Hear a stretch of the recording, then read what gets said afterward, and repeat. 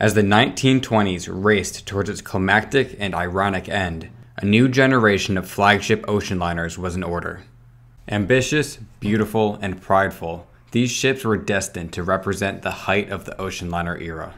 Their builders and owners, of course, could not have known that with any certainty, but they did know that their ships would be the fastest, largest, and most luxurious their respective fleets had ever seen.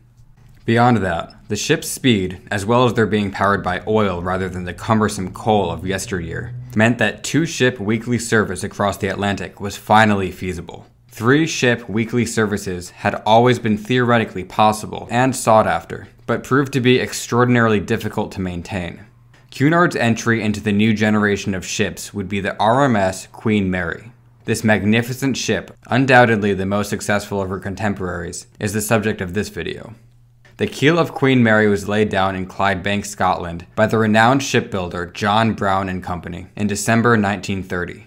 At 1,019 feet in overall length, she was supposed to be the first ocean liner in history to surpass 1,000 feet in length. She would have to cede this accolade, though, to her French contemporary, Normandie. The Great Depression forced construction on the Queen Mary to be paused, and the Normandie overtook her in the construction process. Ships of this scale were usually supported in some way by the respective governments. The cost of building them was simply too great for a single company to easily afford. Cunard's ship, referred to as Hull 534, was no exception. But beyond the sheer cost of shipbuilding at this scale, Cunard was not at its peak financially. In 1932, for example, the company posted a massive operating loss of $20 million. While the partially completed ship sat idly by, Parliament debated whether or not to provide the funds necessary to continue construction. Ultimately, the government agreed, on the basis that ships of state were unparalleled symbols of national prestige and pride, and had the potential for great utility in the event of a war. Cunard's new ship was ready for launch in September 1934, two and a half years behind schedule. Meanwhile, the ship's future rival Normandie, was mere months away from her maiden voyage. September 26, 1934 was a cold and rainy day on the Clyde. The King and Queen arrived. Queen Mary herself would christen the ship in her honor. This was a first in modern British history. It was also the first time the public knew the name of their given ship, Queen Mary. Given the recent merger of Cunard and White Star, there was a question as to which company's naming convention would apply to the new ship, White Star having named all of their modern ships with the suffix IC, and Cunard with the suffix IA. The compromise was that neither would apply.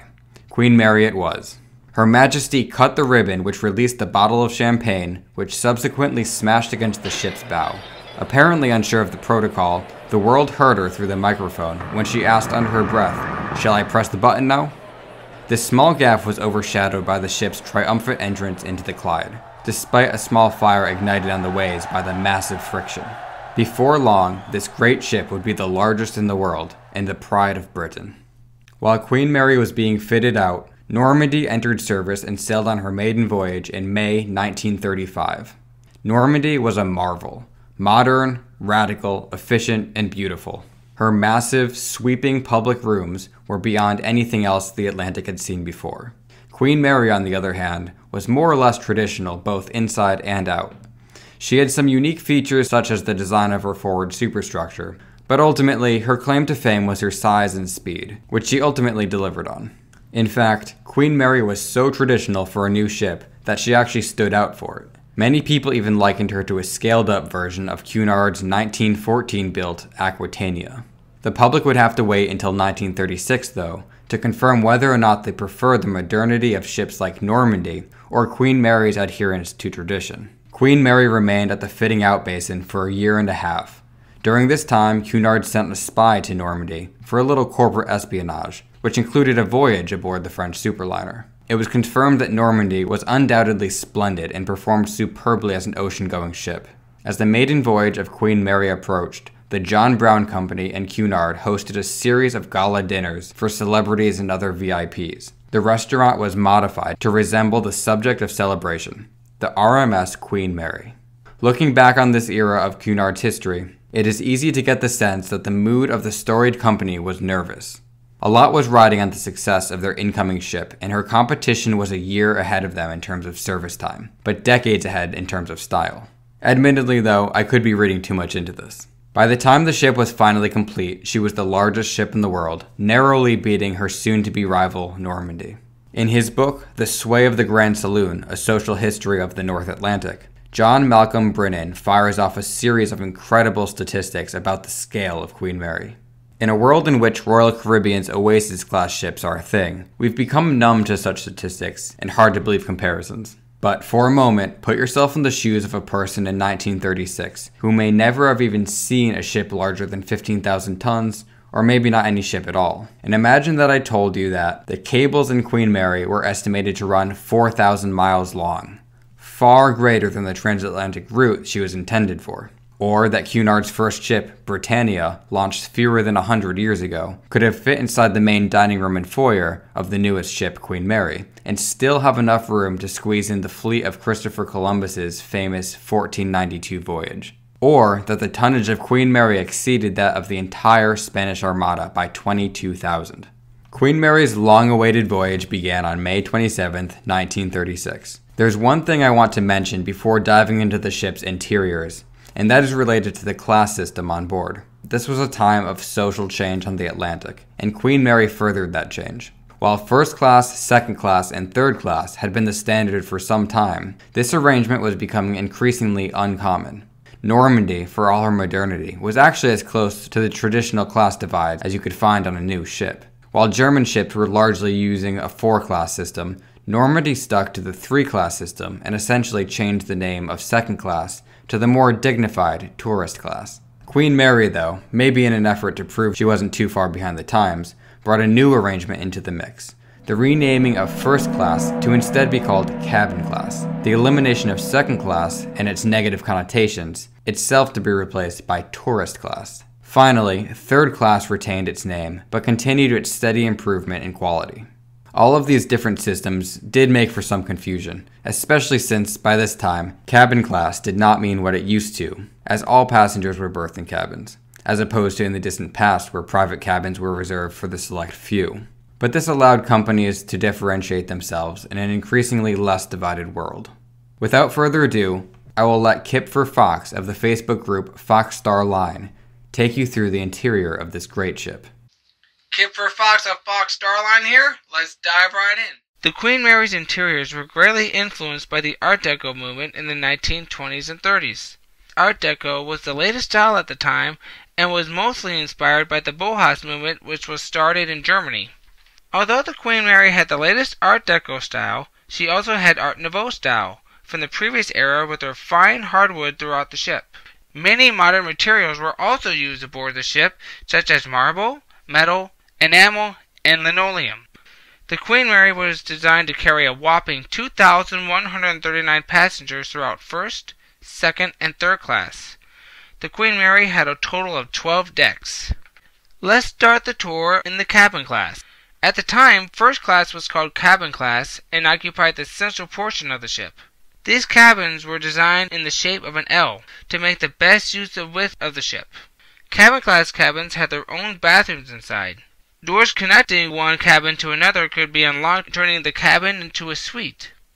Cabin class cabins on other decks were more of a square shape, and most had a sitting room to go along with it. Cabin class was spread out over eight decks. The cabin class library was located between the first and second funnels on the promenade deck. It had the dimensions of 44 feet long and 20 feet wide. The bookcases were made up by multiple alcoves which had sliding glass panels that could disappear into the upper sections of the bookshelves when raised. There was plenty of space for tables and chairs so passengers could read and write, and the bookcases could hold over 1,700 books. The library had a quiet ambience which was perfect for reading.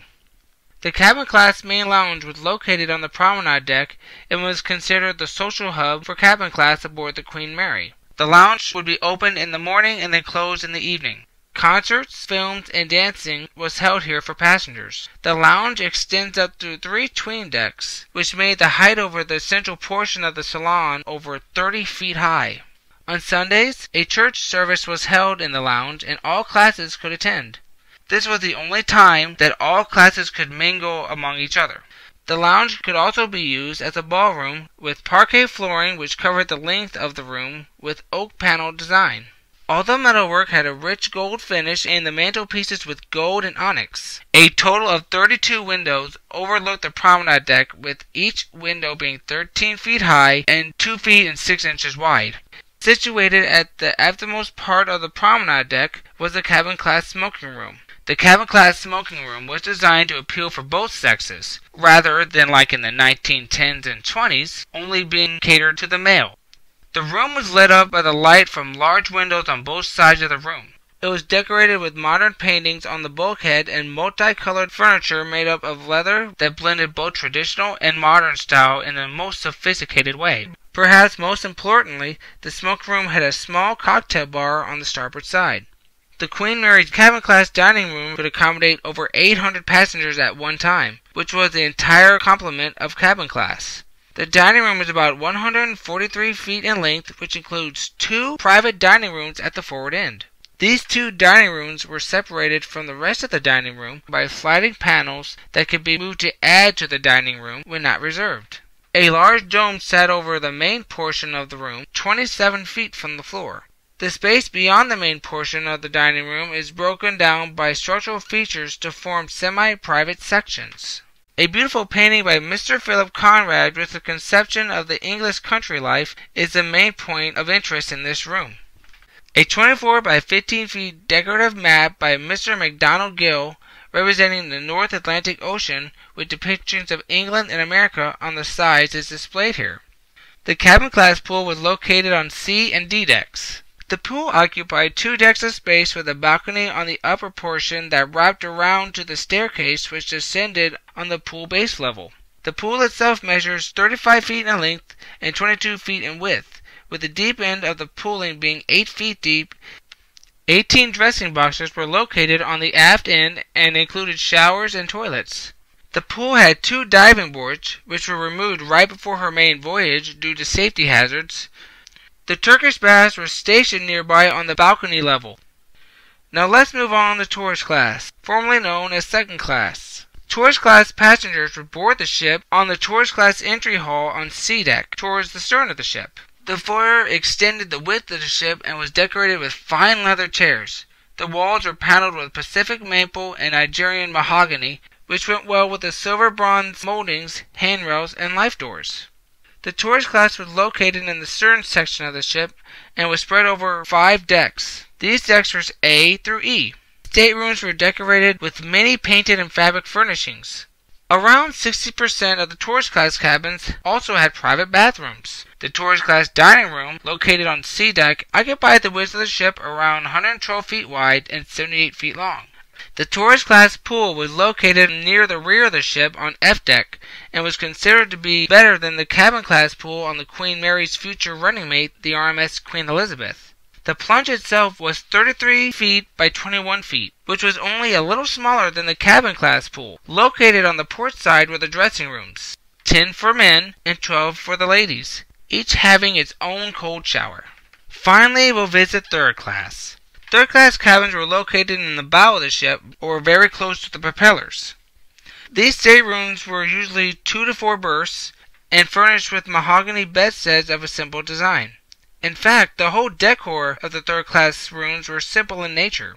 Down into the bowels of the ship, the Queen Mary had four primary boiler rooms. They each had six Yarrow boilers and an auxiliary boiler room with three Scotch boilers to generate electricity, two turbo boiler rooms, two engine rooms, and a feed water softening plant which produced up to 300 tons of softened water every day.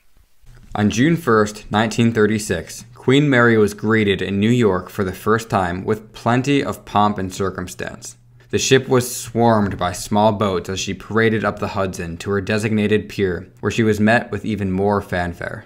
The public was allowed to board the ship for the price of $1, which went towards charity. But some of these sightseers took more than their donation was worth in the form of souvenirs from the ship.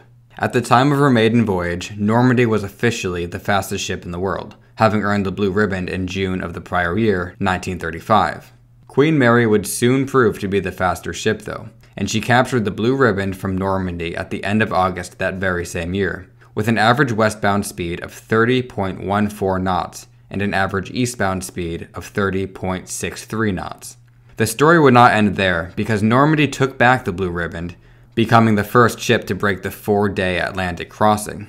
Queen Mary, though, took back the fabled prize in August of 38, and Normandie never did have a chance to fight back, as she was taken under the wing of the United States government at the start of World War II in 1939, and met an unfortunate end. Do I think Normandie would have taken the Blue Riband again? No, probably not, but ocean liner history is filled with facts far more difficult to believe, so you never know. Queen Mary was officially the fastest ship in the world, in addition to being the largest and one of the newest so it almost goes without saying that she was immensely popular on the transatlantic route.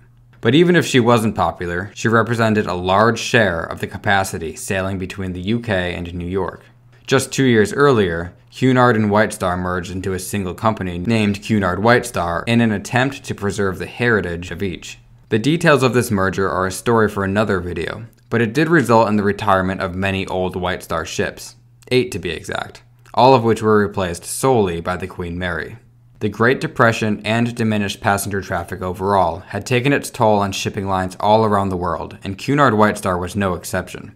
It was the reason Queen Mary had taken so long to build, and it was the reason that she was the only new build until the Second Mauretania in 1939. But there was yet another threat looming over Queen Mary Zeppelins. The Graf Zeppelin had proved that transoceanic air travel was possible when it arrived in New York on its maiden Atlantic crossing in 1928. Zeppelins, as they existed, had very limited carrying capacity because, despite their voluminous size, a lot of lighter than air gas was needed to lift heavy objects off the ground.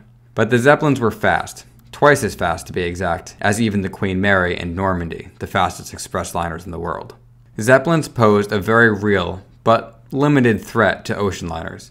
Shipping companies would have to keep their eyes on the situation, but for now, the impact was limited by the fact that Zeppelins could only carry about 50 passengers at a time. As the rivalry between Queen Mary and Normandie continued on, a running mate for Queen Mary was in the works. This new ship would give Cunard a competitive advantage over the French line. For the first time ever, a weekly service across the Atlantic was feasible with just two ships, the elusive three ship weekly transatlantic service had proven difficult to achieve and harder still to maintain. In 1914, Cunard was so tantalizingly close to achieving it with Lusitania, Mauretania, and the new Aquitania. But before this great trio could settle into a rhythm, World War I killed it abruptly. It must have been extraordinarily frustrating for Cunard's leadership. A two ship service, it could be assumed, would be easier to manage with fewer opportunities for snags in the system and Cunard finally had that with Queen Mary and Queen Elizabeth. Launched in 1938, this new ship looked very much like Queen Mary at first glance. But contrary to popular belief, the ships were not sisters. They were in fact very different ships with a similar exterior aesthetic which fooled many. Perhaps the simplest proof of this is that Queen Elizabeth's maximum speed was drastically lower than that of her running mate, only about 28 knots. Still, it was fast enough to maintain a two ship service. If you've seen my video on the conversion of ocean liners from coal to oil, you'll know that it was not only speed, but also quicker turnaround times in port which allowed this two ship weekly service to exist. Queen Elizabeth, after all, was not much faster than the old Greyhound, Lusitania, and Mauretania. Although she was launched in 1938, Queen Elizabeth's maiden commercial voyage would not take place for another eight years. No, it did not take eight years to fit out the new ship. Rather, history stood in the way. Before Cunard could get its two ship service, World War II commenced in 1939. And this seems like a good place to end part 1 of Queen Mary's ship story. Part 2 will be coming soon, so stay tuned. Fox Star Line is a group on Facebook that has over 6,000 members with a common interest of sharing pictures, videos, and experiences of ocean liners. We strive to provide a safe outlet from the world for others who share our common interest of ocean liner history founded by myself and my fiancee Sarah, we set out on a mission to set ourselves apart from the rest of the community by not allowing just ocean liners, but other ships such as battleships, airships, and cruise ships, etc. We hope that you will join us today. Keep calm and sail on.